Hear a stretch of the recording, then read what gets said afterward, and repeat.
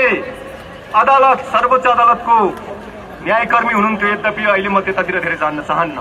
आज नागरिकको रूपमा यहाँ उपस्थित हुनुभएको छ। अत्यन्तै जिम्मेवार नागरिकको रूपमा अत्यन्तै सादगी जीवन बिताउने एउटा हामीले गर्व गर्नुपर्ने व्यक्तित्व हुनुहुन्छ।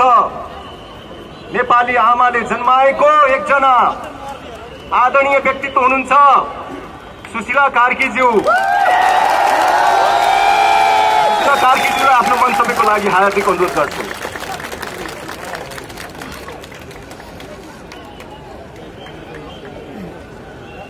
उपस्थित हुनुभएको प्रबुद्ध वर्गहरू यहाँ मैले मान्नुपर्ने व्यक्तित्वहरू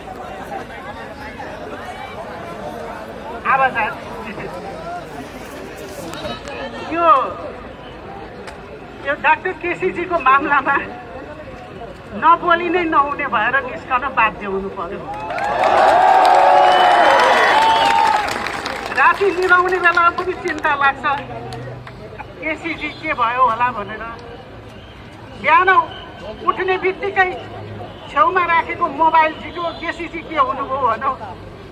अनि त्यो घडीको सुई जस्तो मन त खित्री खित्री त्यसैले मान्छेले भन्लान् सरकारको मानव खाएर के बोलेको भन्लान्?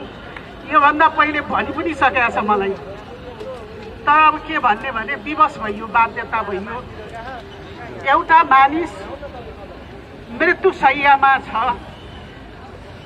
मृत्यु शैयामा भएको मान्छेलाई सरकारले अक्सिजन दिएर पनि जोगाउनु पर्छ कोरामिन दिएर पनि बचाउनु पर्छ त्यो सरकारको धर्म हो। म यहाँ म के भन्न चाहन्छु भने यो अहिले जुन सरकार आयो यो सरकारको प्रतिपक्षीहरूको अस्ति भएको निर्वाचनमा सबैको माग उहाँहरूको घोषणापत्रमा के थियो भने जनतालाई शिक्षा र स्वास्थ्य सर्वसुलभ गराउने भन्ने थियो। त्यस्तो वचन राखेर उहाँहरूले निर्वाचनमा जित्नु भएको भने डाक्टर केसीले आज जे मागेका छन् तेह्र चौध पट पटकको जुन यो अनसन छ उनले जे मागेका छन् त्यो उनले आफ्नो निम्ति निजी मागेको होइन। हो कसको निम्ति? जनताको निम्ति। तपाईँ हाम्रो निम्ति मागेको हो र देशमा एउटा के छ भन्दाखेरि आदर्श सरकारले त्यो शिक्षा र स्वास्थ्य भएसम्म सुलभ गराउनुपर्छ। कसलाई अझ भन्दाखेरि गरिबहरूलाई गराउनुपर्छ। जो अशक्त हुन्छ त्यसलाई गराउनुपर्छ। यदि जनताको एउटा जनताको स्तरमा वृद्धि गर्ने हो भने गरिबका छोराछोरीलाई डाक्टर पढाउनु पर्यो। धनीकालाई होइन। धनीकाले धन खर्च गर्छन्। र डाक्टर केसीले त्यही माग्नु भएको हो। गरिबलाई उद्योग शिक्षा देऊ गरिबलाई स्वास्थ्यमा सुलभ गराउँ भनेर मागेको हो। उनको माग सबैको माग हो। यो अहिलेको सरकारले यसलाई बुझ बचाएर नजाने जस्तो गरे पनि आम जनताले बुझेको छ। जनता त्यो पक्षमा छ। त्यसैले म सरकारसँग के अनुरोध गर्दछु भने यो बेकार डाक्टर केसी र डाक्टर केसी जस्ता अन्य पनि समाजसेवीहरू कुनै दलका। अङ्ग्रेजीमा एउटा शब्द छ क्यामाफ्लोज भन्ने। जस्तो गिरगिटीले रङ फेर्छ नि।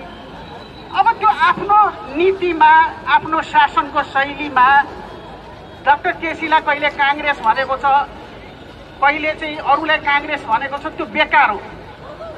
सरकारमा बस्ने प्रत्येकले बुझेका छन् कि डाक्टर केसीले जनताको आवाज बोलेको छ। किनभने डाक्टर केसीले काम गरेको जनताको लागि त्यो बुझेको छ सबैले। डाक्टर केसीले यो नेपालबाट केही लाँदैनन् मरेर जाँदा। उनी त अमरत्व प्राप्त गरिसकेका व्यक्ति हुन् अघि पनि भन्नुभयो सङ्ग्रोला त्यसैले यो बेकार छ। म यो सरकारसँग अनुरोध गर्दछु उहाँको माग पुरा गरौँ। पुरा गर्नै पर्छ। पढेको दस पढेको व्यक्तिलाई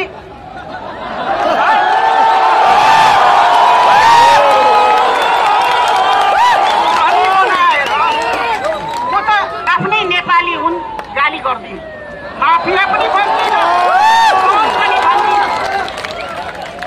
अमेरिकामा बिल गेटसले जति कमाउँछ जनतामा लगेर बाँड्छ। अस्ति एउटा खेलाडीले विश्वकप जित्दाखेरि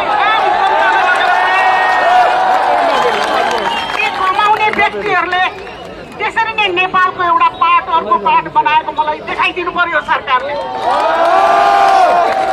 त्यस्तो व्यक्तिलाई किन पस्ने त्यस्तो व्यक्तिलाई सरकार भनेको म अहिलेको सरकारमा बसेका पढे लेखेका प्रबुद्ध व्यक्तिलाई समाजवाद के हो लोकतन्त्र के हो प्रजातन्त्र के हो म सिकाउन आएको होइन।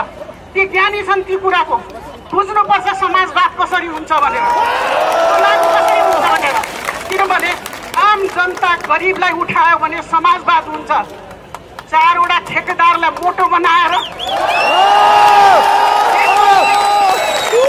त्यो व्यक्तिले मैले अस्ति युट्युबमा हेरेँ। कोहीले मेरो कहिले हजुरबाउ भन्छ कहिले काका भन्छ बेइज्जती गरिरहेछ।